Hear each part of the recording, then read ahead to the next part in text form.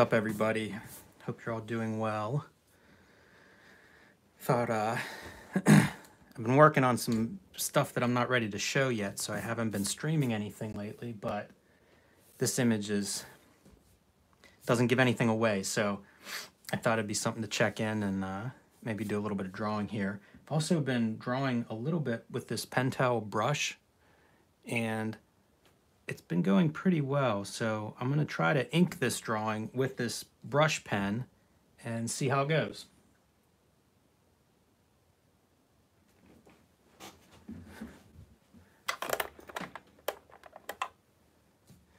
Uh, some weird shadows here, but we'll see. It's funny, I, uh, I have a lot of these like feather lines that are coming in this direction and they would be much easier if they were going in the other direction. And I didn't think about it until after I had penciled this. And I think if I was going to pencil it again, I would definitely flip the image over and do the mirror image because a bunch of these lines go in the direction that is not natural to the way that I ink. And this is actually, this was my rough. And then I light boxed to put the pencils on top. So we'll see how it goes.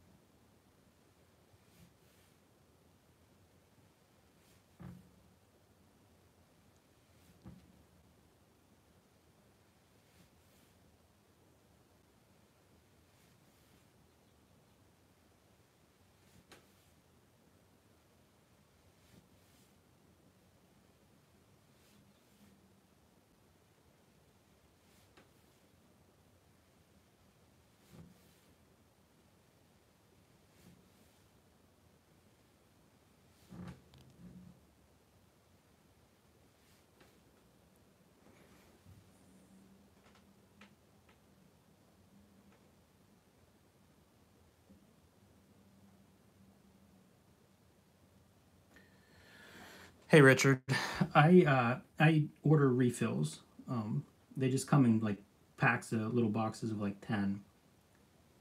And I've never had a lot of luck with brush pens. I've used a few different kinds before, some cheap disposable ones, some that are a little bit uh, higher quality and have refills and stuff. But I've never had a lot of luck with them. And uh, and lately I've been happier with this this one. So I don't know if it's a good batch of like refill cartridges or what the deal is, but for some reason this ink has been working pretty well for me. Like the speed that I like to ink and the amount of ink I want flowing through the brush, it's just really worked really well this time.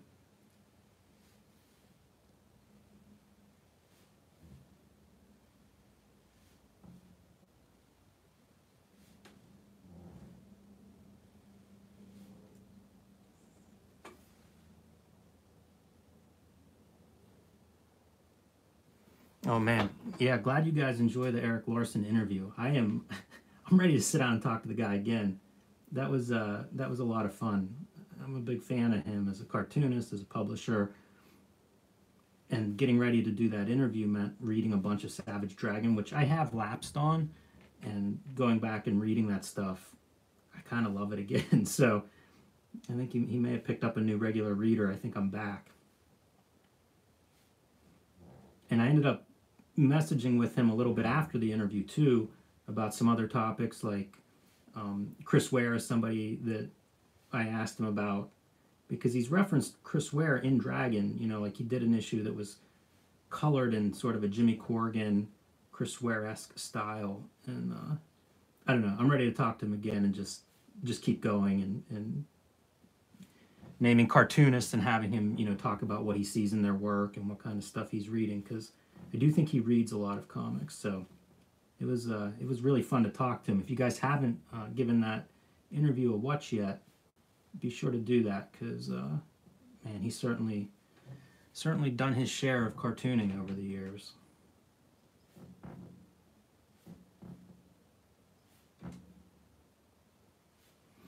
Hopefully, um, you know, if you follow him anywhere, keep bugging him about that artist edition. I'd really love to see that.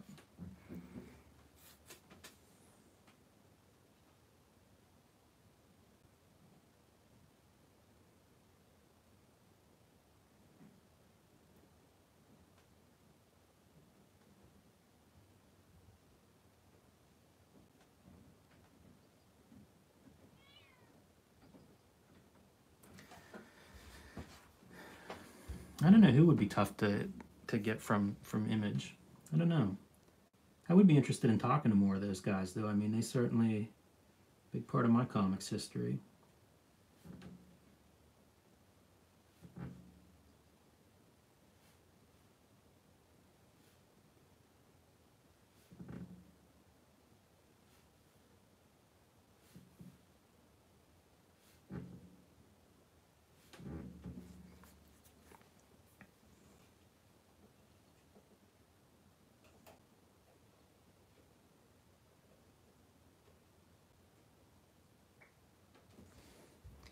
Never met Jim Lee. I have no idea. I mean, he's pretty active.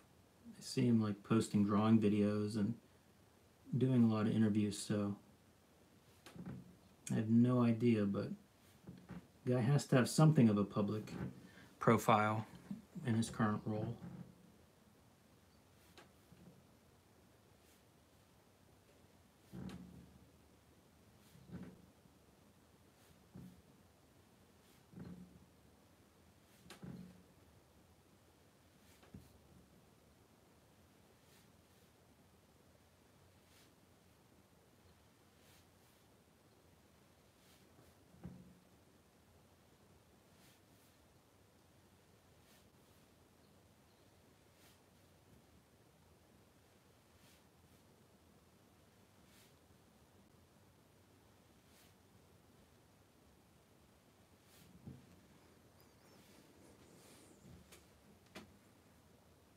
Hey, thanks, Adam.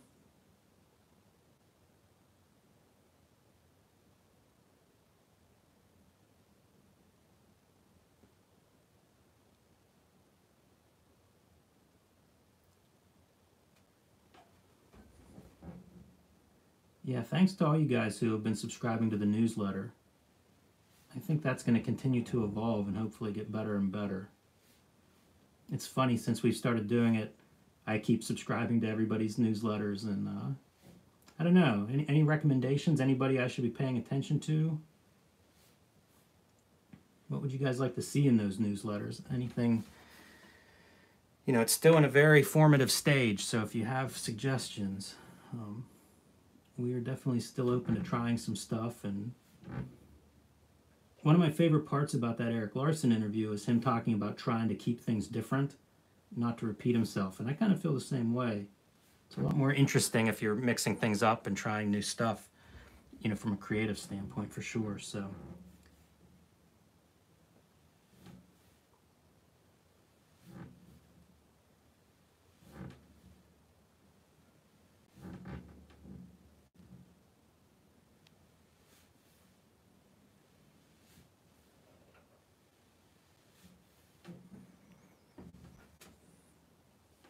Massive Panda, thanks, man.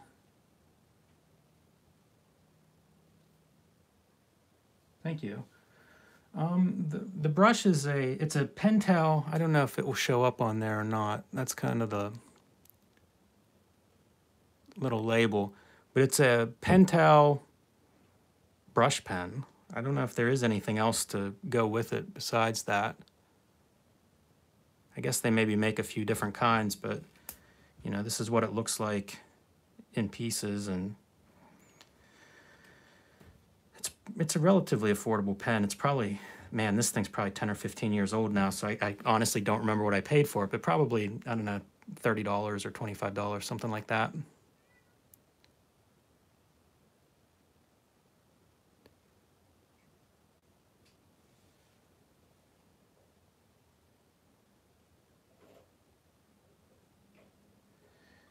Richard, yeah, man, on uh, on on tools. I spent ten years looking for tools and asking everybody about tools and what they use.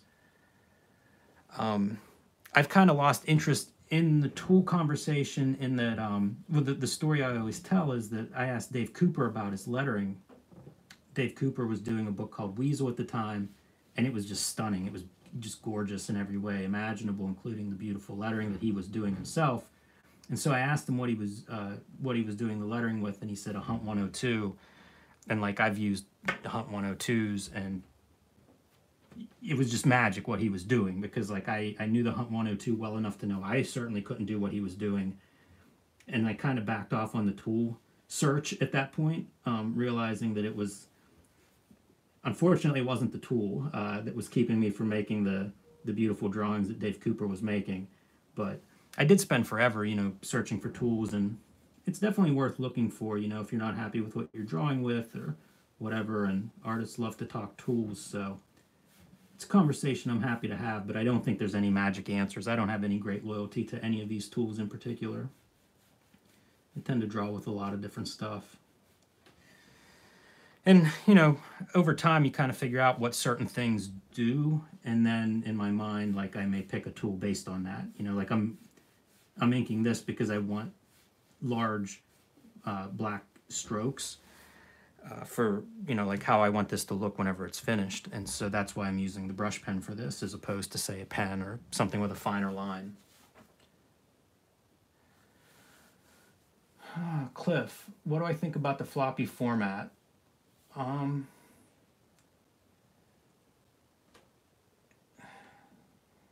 I'm somewhat format agnostic.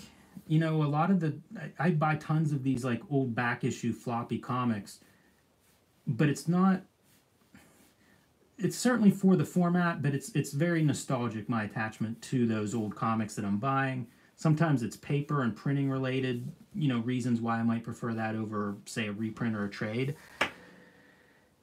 My issue is more of like use whatever format you're using, you know. So if you're making a comic book, I want that comic book to be satisfying. Like if all you buy is that one issue of that comic book, I want you to get a good experience. With that in mind, I, I do wonder about the future of that format. I was thinking about it today. I think about it almost every day, but I was thinking about it today, and it's like that. What what you're calling a floppy, you know, a comic book, that format is almost a hundred years old, right? Like that shows up in the in the 1930s it's totally different production, it's totally different distribution. None of that stuff is still around except we cling to the format. And I love the format. I'm this is for a comic book. This is for what, you know, what you would call a floppy. So I love that format, but I don't know that it's a format that is makes sense for majority of comics. So I don't know what the future of that format is. I hope it never totally goes away, and I don't see why it would because you can make them you know, yourself with a photocopier or a printer and a stapler. So I don't think that format will ever totally be gone, but I don't know if it'll be the dominant format. Um, you know, it's really comic book stores are like the last place where that format really is sold. Uh, you know, at least new issues, and I don't know that that's gonna. There just aren't that many comic book stores, so it's it's not totally viable as a commercial format. I don't think but that doesn't mean the format goes away. I think Art Spiegelman has a quote, and it's about how when an art form, when a mass media becomes obsolete, it becomes an art form. I'm probably butchering it, so forgive me if that's the case. But if that is the quote, you know, the sentiment, whatever, there's no reason that the comic book can't can't go that direction. You know, like I love the format, so when I have an idea that fits that kind of 24 or 32 pages or whatever, I am totally up for, you know, happy that I have access and knowledge of the format, but I don't know what it'll what it'll look like in a couple years. And to be fair, I thought that the format was going away like 10 or 15 years ago. I remember when Tom Tom Scioli was doing Godland, and in my mind, I'm like, man, that's it. You know, that's like that's going to be one of the last comic book series. And then there was a real resurgence at Image um, over you know since then where they really started putting out some great comic books so that could happen again you know it's it's hard to predict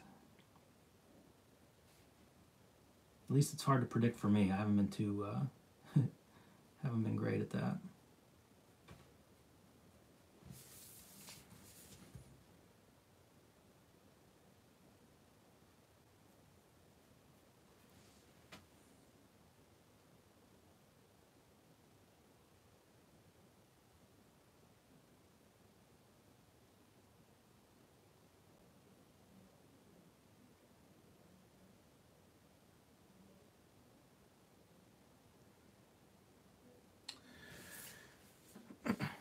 Yeah, I can't really tell you guys too much about this project yet. It's coming along. Um, getting closer to the point that I hope to uh, tell everyone about it, but that time is not tonight, unfortunately. Yeah.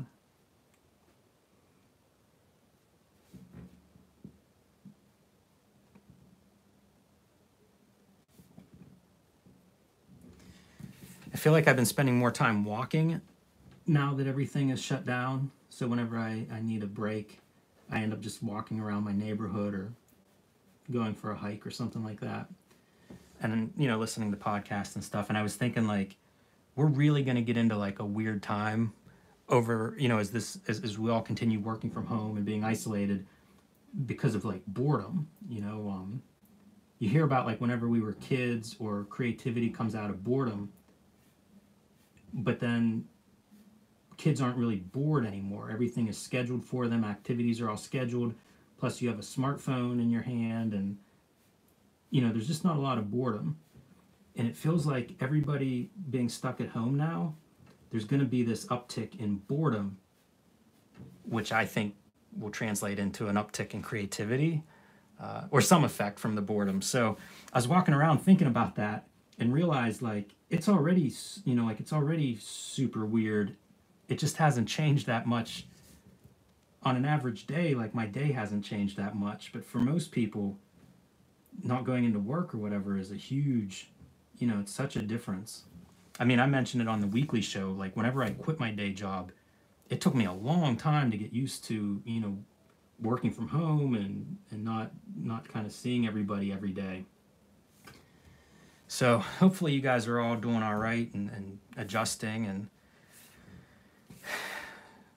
holding on okay. But uh, yeah, I do think there'll be some interesting artwork at the very least coming out of out of all of everybody working at home. Oh, man, do I think Phantom of the Attic and Copacetic will survive the quarantine? Yeah, I mean, I, I obviously I hope so. I, I don't know. I my least favorite podcast right now is anything that has to do with prognostication because like don't don't get any advice from me. I'm ha- maybe about inking or something. You know, I'm, i can tell you about what ink to use or something, but um, you know, I don't know anything about what's going on, on on a larger scale. So it's hard for me to say. You know, I don't know how long this is going to last. I don't know anything, so I I don't know you know, I certainly wish them nothing but the best. And I think both of them are doing mail orders. And, you know, I'm not sure what else we can do exactly at this stage, but we'll see. You know, we might try to talk to some retailers and see exactly what's going on because I know there are things happening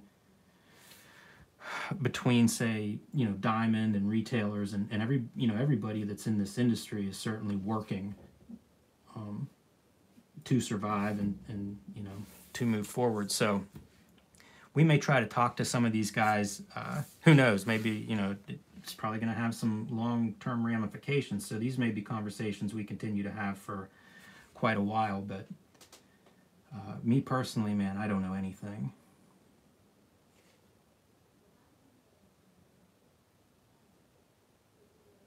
I love comic shops, and I have a lot of friends who work in comic shops or even run comic shops.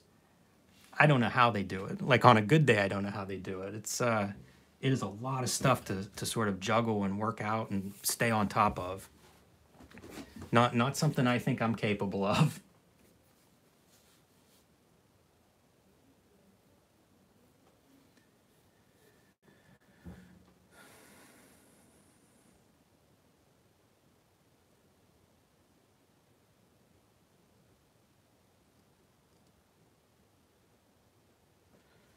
James, you said uh, you're a retailer.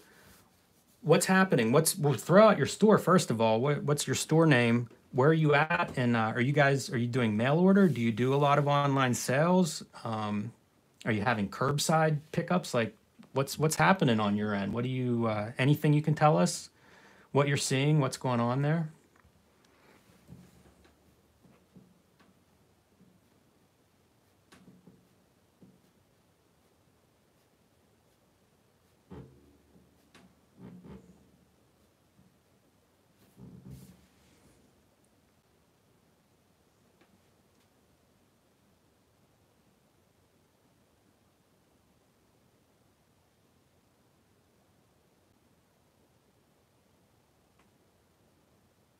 I've never been to the comic book shop in Delaware. I'm not sure I've ever even been to Delaware, and I'm in Pittsburgh. Like it's not that far away. I'm I'm not sure why I haven't spent any time in Delaware, but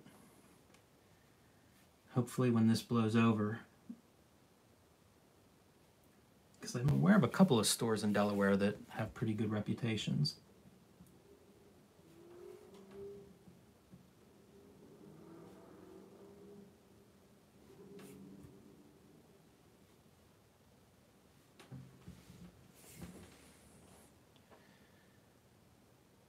Oh man, rereading Scout's a good choice. I haven't read Scout since I was a teenager, and I would like to do that. I don't know if any of you guys have, uh, if you ordered that Wizard zine that Eli and a bunch of uh, fans of the show and friends of the show put together, but they have an interview with Tim Truman in it, and he shows off some stuff from the new Scout uh, story or graphic novel that he's working on which is kind of cool and exciting. And I do need to do a reread of that series because it has been a long time.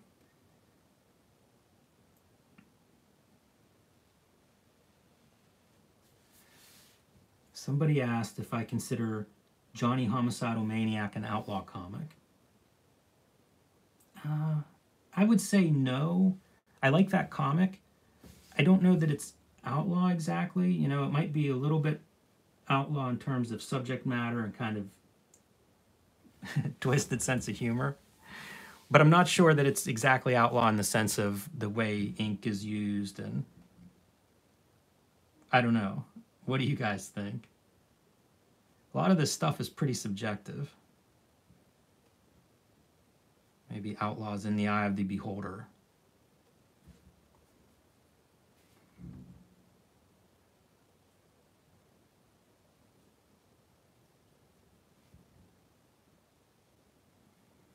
It's cool. Somebody actually sent us um, a Johnny the Homicidal Maniac book recently in one of our mail, mail um, episodes.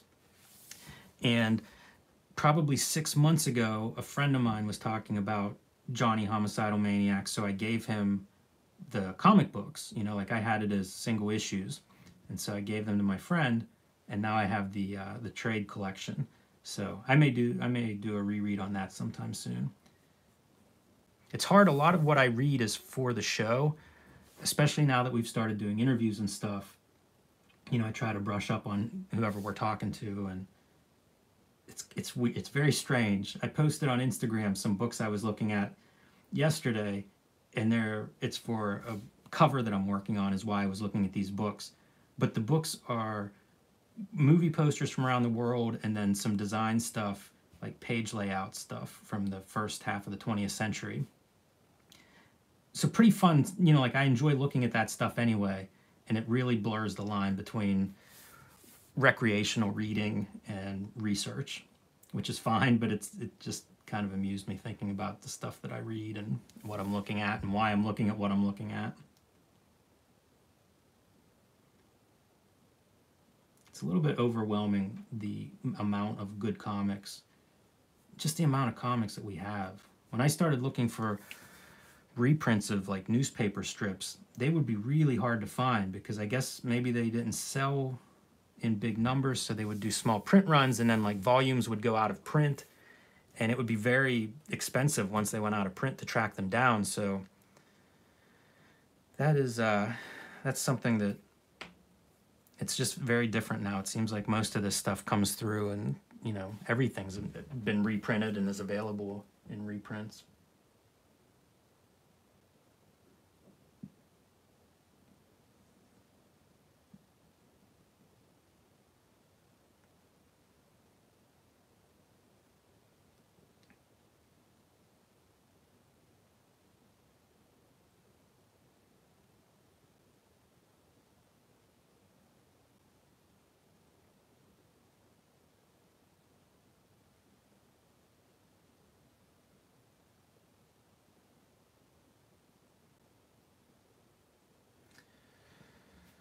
See. Espionage comics with kind of 60s, 70s vibe. I am never good at answering this stuff on the spot. Obviously, Steranko comes to mind. Modesty Blaise is is one to look up. And I'm sure there are like a zillion others. What do, what do the rest of you guys think? 60s, 70s espionage vibe comics.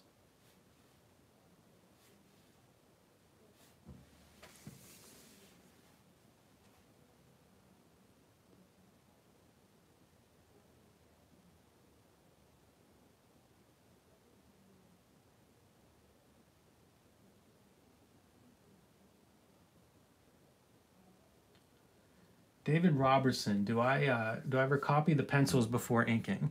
Not really, but this is something I showed early on. Like this was my rough for this page, and then I light boxed the pencils, you know, on top. So, you know, if something went wrong, if I if I made a terrible mistake on on the inks, I could always go back and, and recreate the whole page with that. But I usually sometimes I'll scan pencils, you know, if I think for some reason I want a record of them, but it's not a regular practice for me.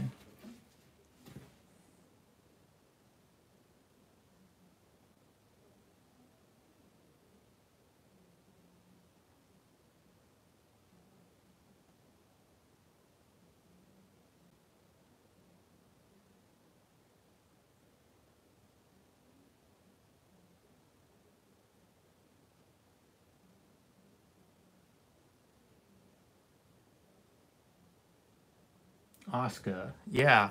The rough sketch sometimes yeah, definitely sometimes the rough sketch is better than the finished piece. The the you know, the way to try to overcome that is to as you start to know what your ink is like, you know, your your drawing, I mean, not like the viscosity of your ink, but how you draw, how you ink, how things look whenever they're inked, you can kind of anticipate and build the images that way but you know it's a very different image than the rough drawing and sometimes that rough drawing is better. Um, if you've ever seen my Afrodisiac cover that is blown up from a very tiny sketch of about two inches that started out as the rough sketch and i did several drawings for the you know for the cover and none of them were as good as the rough sketch and in the end i ended up scanning the rough sketch at like 1600 percent in order to uh, you know get the image that I wanted.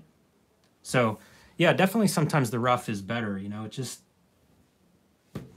that's the nature of making drawings. Like it's it's very much an opinion, but I have done a lot of rough sketches that I end up liking better than the finished piece. This I'm going for something very specific. And so the ink version is definitely what I'm what I'm after and and I have a pretty clear idea of what I'm going for with it.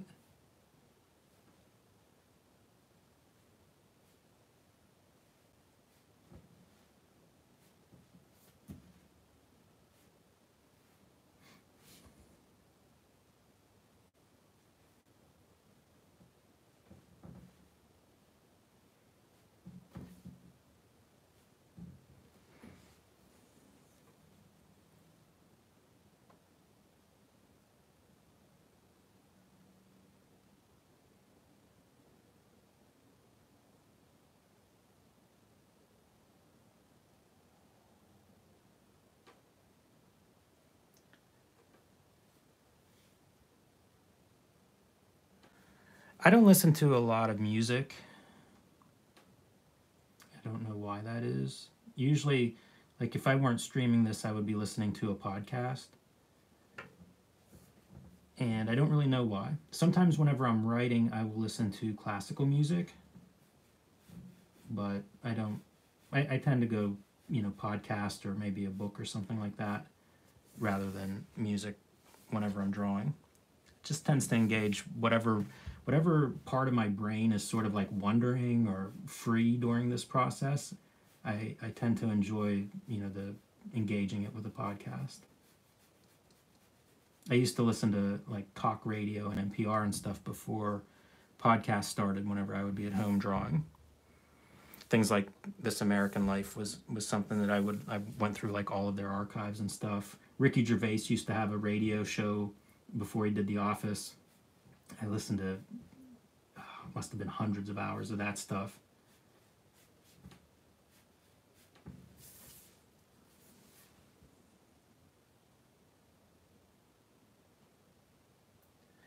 Yeah, Guy Peellaert's work is great. Jodelle, Pravda. I've been looking at Pravda as well. this is a, I love this guy's stuff. That edition that Fantagraphics put out of um, Jodelle is one of the best books. It's absolutely stunning, and the extras that are in that book are so good. And I have like, I don't know what it is, like maybe an original English edition or something. So I never wanted to break down and buy the new one but my friend has the new one and every time i see him or go to his house that's the book that i pull off the shelf and look at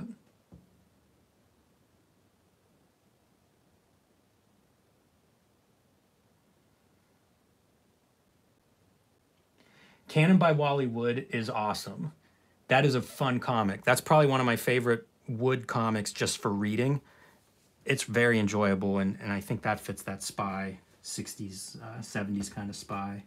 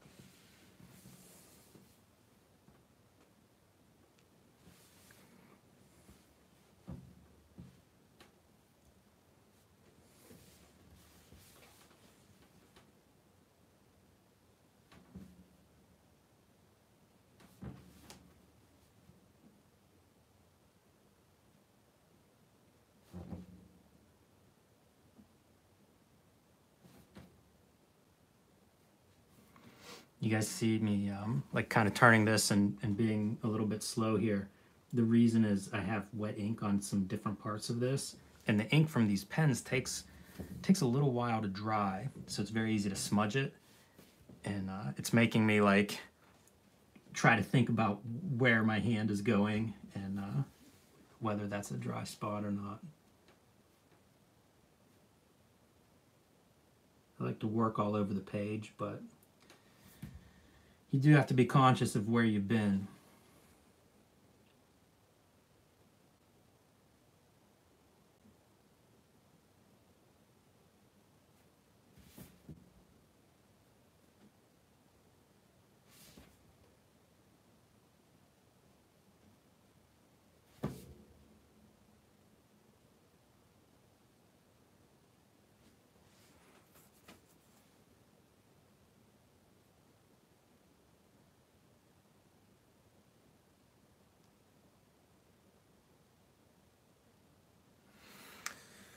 A smudge doesn't necess- does not mean a redo, but it might mean that I'm aggravated or, you know, I mean, I'd rather not smudge.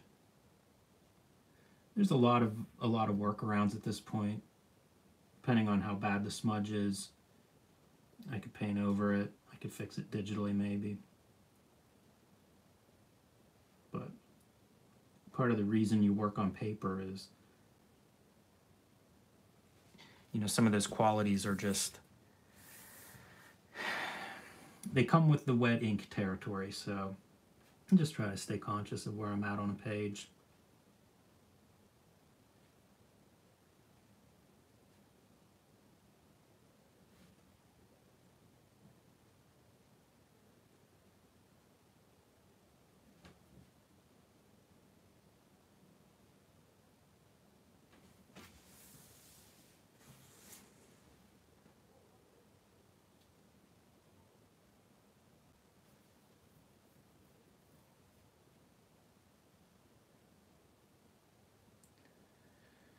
Yeah, do I own any of the John Jacobs, Ken Landgraf, Madison comics? I have um what's their Frontier one?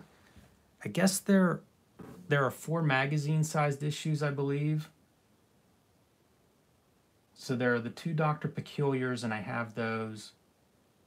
And then there is it's like New Heroes or Frontier Heroes or something. I could probably dig it out. But yeah, I I have most of the Madison stuff. Uh, I might have all the Madison stuff because there aren't too many books.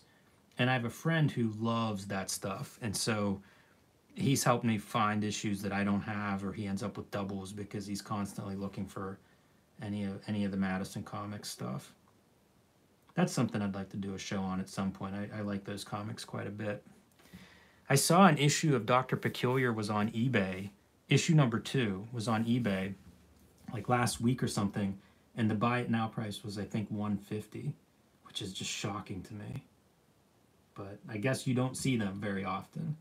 Makes me wonder like how many of those are actually out? You know, how many exist at this point? It's probably something that didn't sell and so most of the print run, you know, was destroyed at some point, I would guess. But I wonder how many actually got out and how many are around today.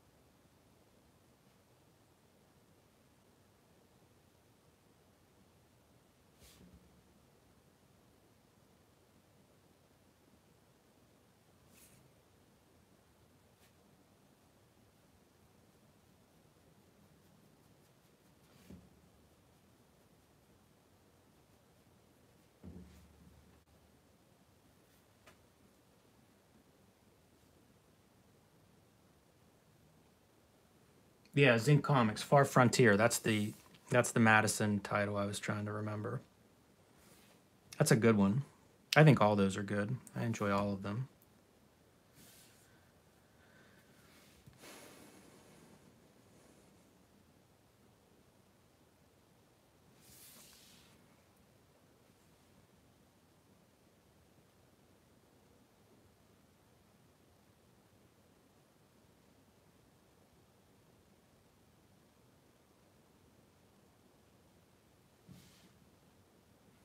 Wolf Angel is amazing.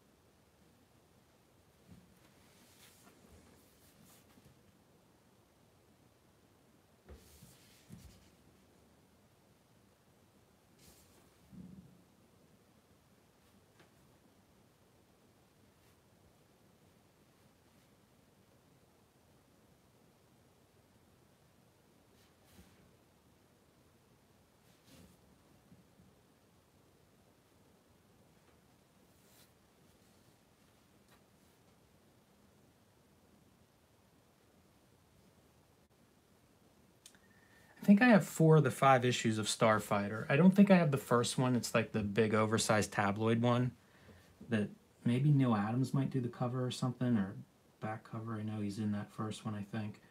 Um, so I like Starfighter's okay. Yeah, I like Ken Landgraf. So any any Ken Landgraf that I come across, I'm interested in.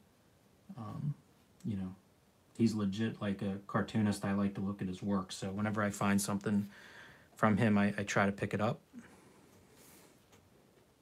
he's definitely a guy that I, I'd like to showcase at some point.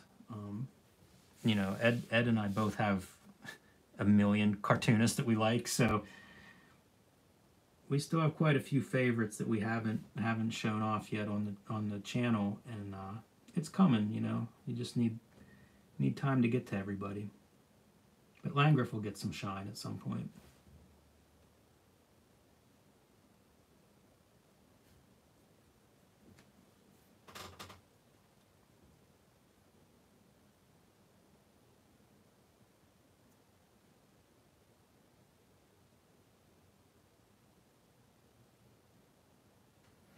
Yeah, I, I'm a huge Charles Burns fan. I don't know who isn't a Charles Burns fan, but I definitely admire his inking.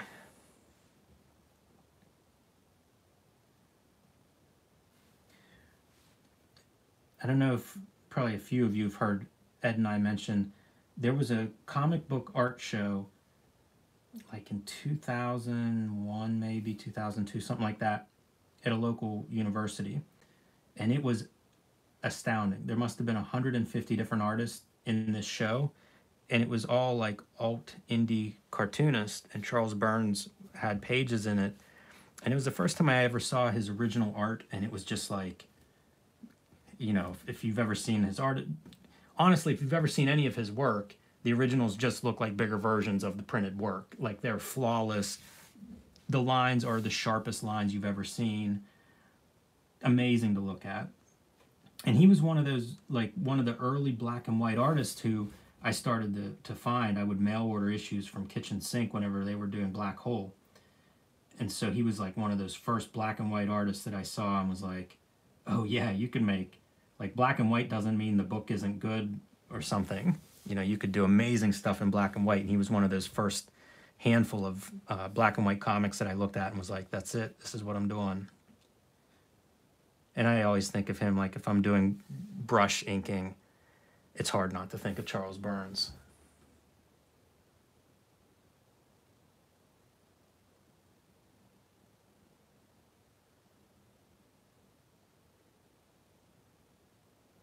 Yeah, Joe Sinnott, of course. You know, uh, there's a ton of classic inkers that, that I really like, and he's definitely one of those guys. Inking was such a different thing for that generation. Ed's got me looking at a bunch of uh, Klaus Janson again, you know, from like the Frank Miller Daredevil stuff, but he's just done so much. And I didn't realize how much Janson colored himself. Uh, you know, like coloring wasn't something I was, I thought much about the first 10 years or so of making comics. I was just making black and white comics. And now that I'm doing more color work and I, you know, you look at whatever you're working on and thinking about. So color has been on my mind a lot. And now I, when I look at Janson, it's like a lot of the books that I look at of his, he's also doing the coloring, which is pretty amazing. There weren't too many artists, you know, like Marvel type artists that would color their work. That was pretty rare stuff, especially as much of it as he colored. Once in a while, guys would color stuff, I think, as a try it out, but he colored a lot.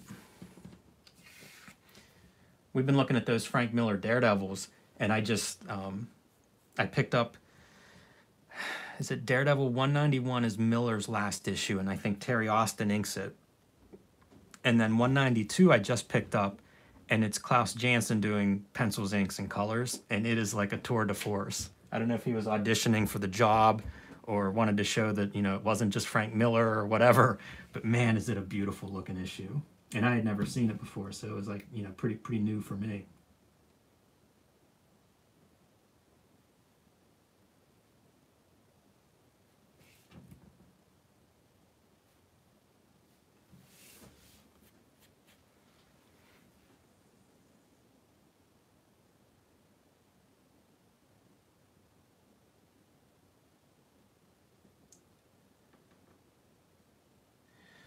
Dude, S. Clay Hawbaker's Nomad was one of my favorite comics as a kid, and he did like two and a half issues or something, right? Like very few. And he always does that. Is it Protectors? Whatever the Malibu superhero book was, he does the cover of that one that's like advertised everywhere. And I always liked that guy, and he just didn't make that many comics. And there are guys that look like him a little bit, like a Jordan Raskin or something like that. I, I see some similarities to S. Clark Hawbaker, but yeah, that that Nomad stuff, man. Like two and a half issues or so.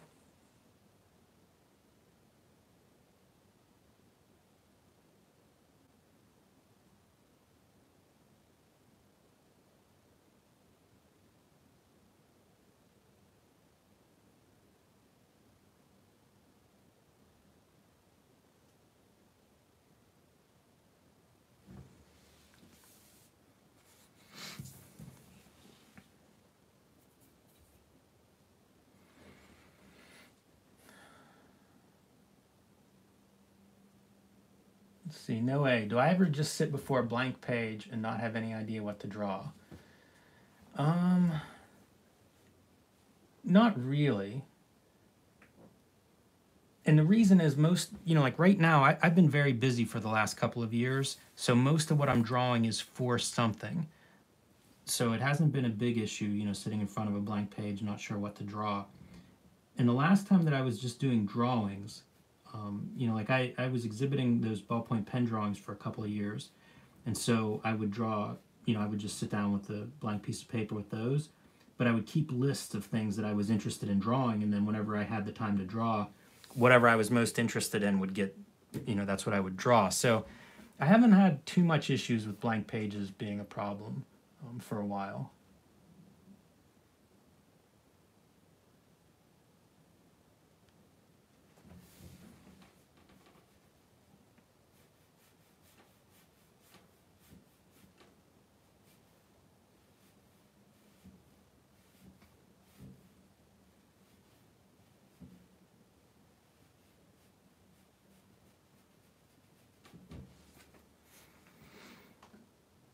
I know the blank page thing is a thing, though. I, I definitely uh, heard of artists that have that, and sometimes it it manifests in different ways. Like I, I know people who have trouble because the page is so pristine, and so they'll just kind of scribble or put some marks on the page just to get past that that initial I don't know anxiety or something about you know going into a crisp new page, but I don't know. It hasn't that hasn't been too much of an issue. I tend to do a lot of pre-drawing. You know, I'm, I usually do layouts for the pages that I'm going to be doing, and so even if the page is just a blank white page, I have an idea of what's going on there. Um, you know, it's not blank in my mind, but it's definitely something I know artists have have issues with from time to time.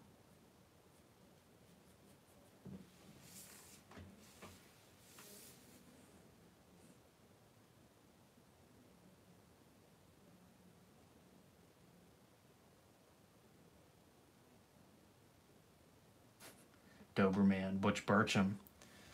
That's that's uh, that's funny. That's a guy a few of my friends have started collecting, like with Comax and stuff. Um, you know, I tend to try to know what my friends are looking for, and then that way, if I happen to come across them somewhere, like at a quarter sale, I can always grab a couple of things for them. And uh, a few a few people have asked me to look for Comax comics, which means then I become aware of them and I start looking and Doberman is a fun book.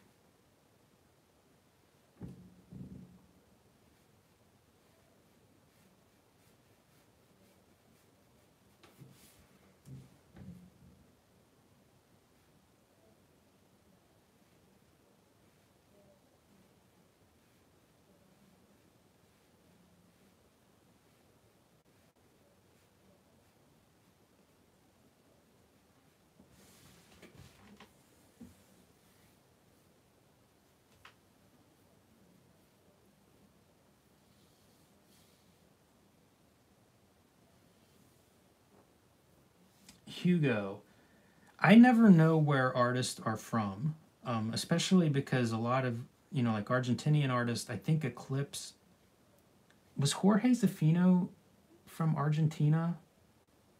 You should rattle a few off, Hugo. If you have some Argentinian comics or, or comic artist favorites, list a couple a couple of them because uh, you know we may overlap a little bit and I don't realize it.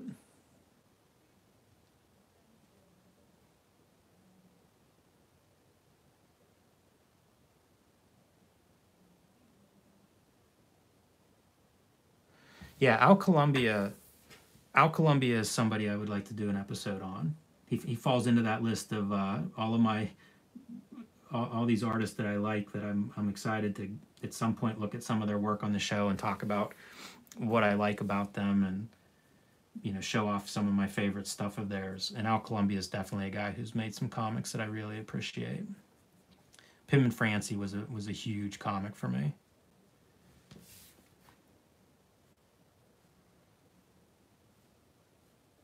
He was an interesting guy art wise because he was doing stuff where like he was using charcoal and all these like gray tones and textures that did not look like other comics. They they I don't know, they look like sometimes they look like old animation, you know, like old Fleischer Brothers kind of black and white type animation and stuff.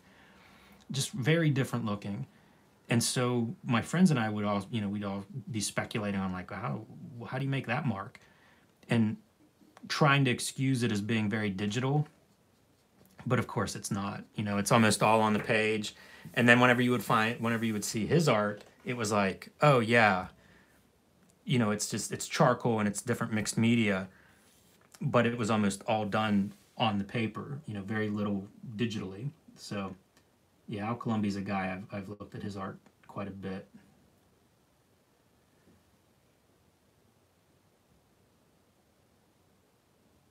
Yeah, I didn't realize Eduardo Risso was um, was Argentinian. I like all all three of those guys. Um, yeah, I think all those guys are outstanding.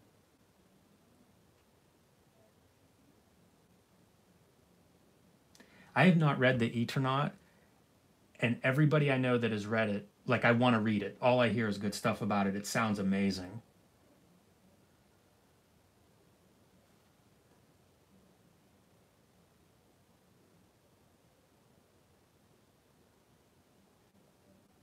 I don't know if if Ed has read any Glamour Puss or not. that's a that that was a very strange book.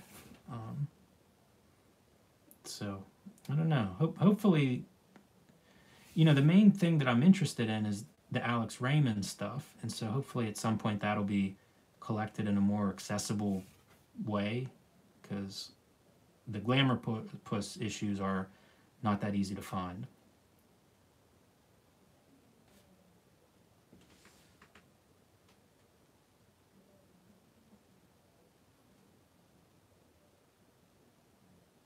Yeah, I'm probably going to butcher this name, but Alberto Breccia, that Fantagraphics collection that they put out, um, his work is, yeah, it's gorgeous. I love looking at that stuff too.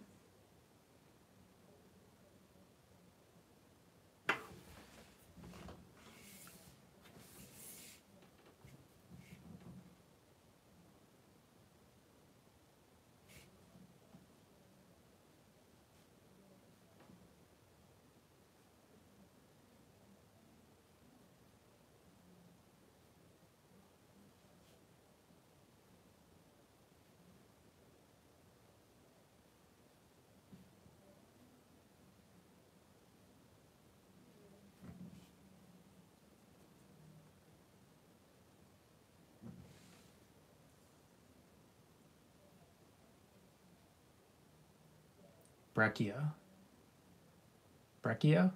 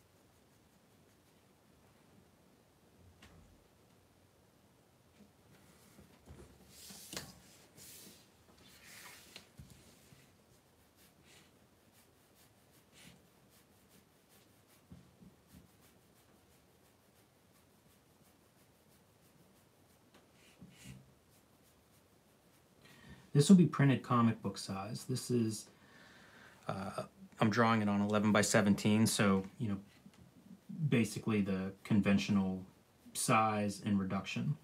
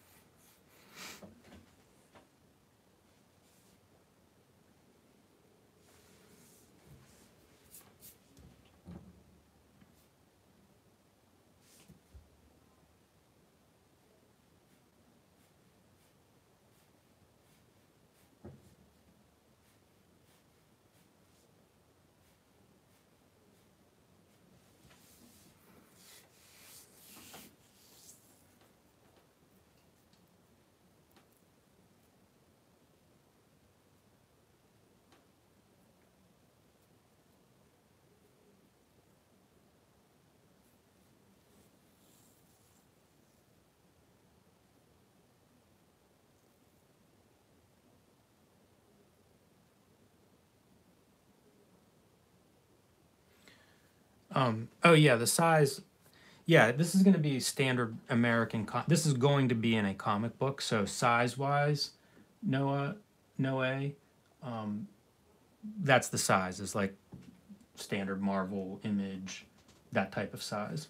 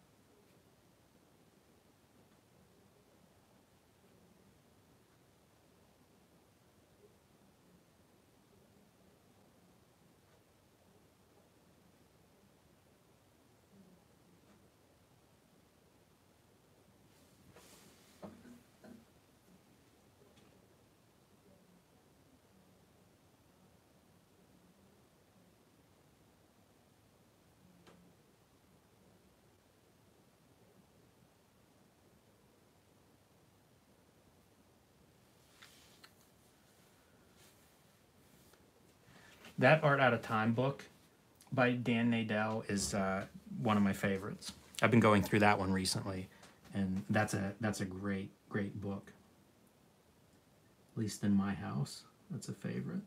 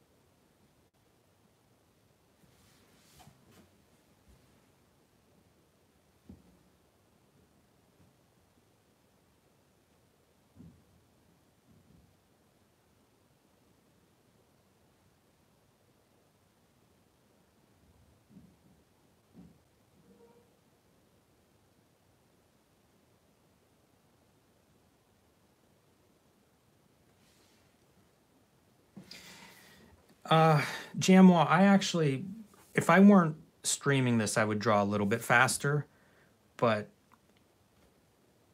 it's just kind of the, I don't know, speed varies, and the fact that it's Sunday night is kind of like bonus. So I'm just kind of drawing and fooling around. But somebody a long time ago, or well, earlier tonight, was asking about the original sketches having more energy than the finished piece. And I think sometimes that's related to speed you know, especially with rough sketches, like I, I do them very fast and they have a certain energy. And sometimes when you slow down and you're trying to do nice, clean, tight inks, I think the the lack of speed can can really affect that energy.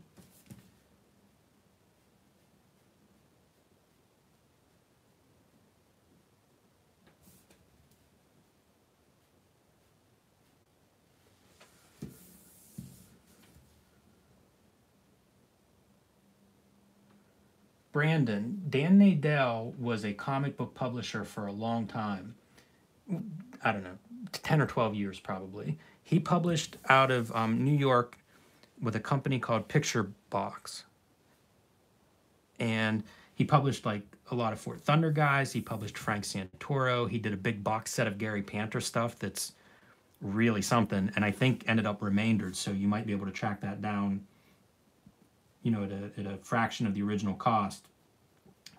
So he, he would do stuff. He was also the um, editor of the Comics Journal online for, gosh, several years. Um, he, he published a, a comics magazine newspaper thing called Comics Comics that then sort of became a blog or was a blog first and then the newspaper magazine. I can't remember the order of that. So he was around comics for a long time and works in more of the art world now. So doing curating shows and writing about various artists and stuff like that. And just an interesting guy who has a foot. He did he did an anthology that was like critical writing about comics called the Ganzfeld that ran seven or eight volumes.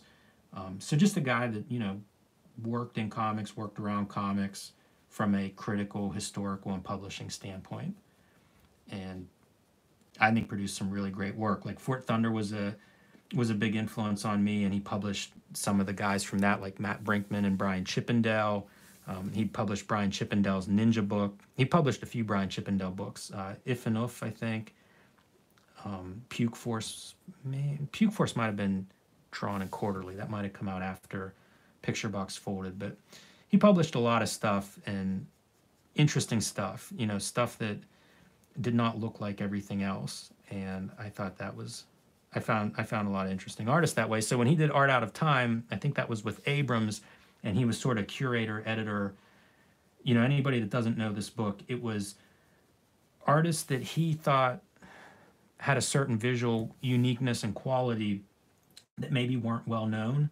And so he would publish an excerpt of their work and then he would have like a biography, a short, very short biography, you know, a couple few hundred words depending on who the artist was uh, in the back, which made it a nice resource and made it relatively easy to track down more information if there was an artist you liked. Although some of the artists, they only did you know maybe one thing, um, you know so, or they only appeared in one newspaper or something like that. Some of them are very hard to track down further stuff, but it was definitely a book that exposed me to a bunch of artists that I liked and guys like Ogden Whitney is in that book, Bob Powell. There, some of these artists are relatively well known in comics history, I don't know if that's where I saw them first or how I found out about them first. Fletcher Hanks is in there, but you know, like Fletcher Hanks was also in Raw magazine, so a few of these, you know, like like a few of these artists who have gained a little bit more exposure in the last couple of decades, they appeared in a few places. And of course, Fantagraphics has done a couple of collections now of Fletcher Hanks' work. New York Book Review Comics, New York yeah, New York Book Review Comics collected and published um, a collection of Ogden Whitney's wit, uh, romance comics that Dan Nadel, I think, curated. Maybe Dan and Frank curated. I actually did some lettering for that book, but um, you know, so a lot of these artists like that art out of time. I think is from 2005, 2006, and since then, several of those artists have been reprinted in other editions and things. So yeah. Nadel recently edited an excellent collection of Whitney's romance comics. Ogden Whitney, you guys may know from uh, Herbie, the uh, Fat Fury, an ACG comic that's pretty amazing. So Ogden Whitney had had a he had a career going back to the golden age, and I think he did Airman or something. I forget the character's name. It's not Airboy, but it's something similar. And I picked up a comic recently that was an 80s book and it was a reprint of that character and it had like an essay in the back about Ogden Whitney and the publisher trying to track down Ogden Whitney, you know, to meet him. And uh, it details kind of the end of Ogden Whitney's life and it was kind of a sad, sad ending to his life, but there's information out there about Ogden Whitney. You know, like he's a guy that's not unknown and had a pretty long career. And uh, Dan Nadel's written about him. Like he wrote an essay about the the quality, a certain quality of his art that is similar to Wally Wood's in the way static characters or characters sometimes appear very static, almost frozen in, in certain moments, and kind of neat. It was in the first comics, comics I believe. So I'm a big Ogden Whitney fan. The, the romance comics, I think, are really strong comics and interesting, and interesting for the time period, but also interesting just the way that guy draws and works. Skyman. Skyman is the one I'm referring to, and it was published. There was an '80s publisher. I'm blanking on their name, but they published a three-issue series called The Face that Ditko drew some of, and like Alex Toth drew one of the covers that was really sharp. and they did an issue of Skyman, like reprinting some of the Golden Age Skyman comics by Ogden Whitney, and then there's a text piece in the back that's several pages long about the publisher's experience trying to meet Ogden Whitney, which is pretty pretty interesting story if you're an Ogden Whitney fan and you're curious about more about his life.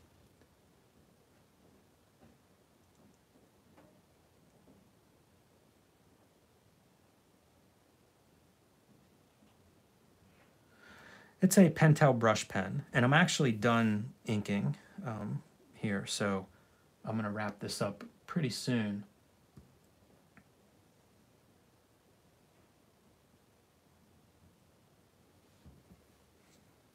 Yeah, CF is another another guy.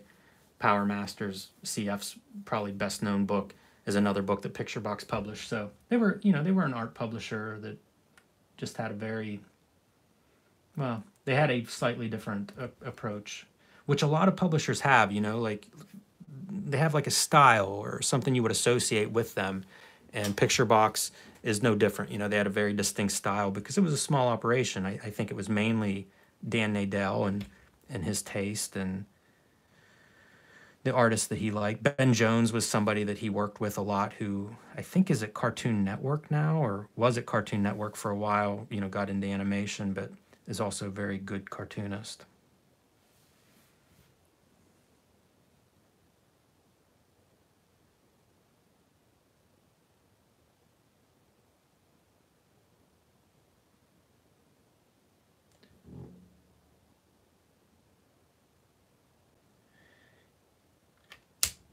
All right, guys.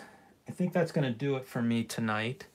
Um, thank you for tuning in and uh, keeping me company while I do this appreciate that. It's uh, it's good to get a little bit of interaction with people. So I appreciate you guys all hanging out, and um, stay safe. You know, as we always say, um, subscribe to the channel and hit that bell icon so whenever we do live stream like this, you'll get a notification. Um, we've been doing that with our weekly shows and with some mail episodes, and whenever whenever uh, we're drawing certain things that we can share. So hope to see you all again here uh, soon. And until then, stay safe and read more comics.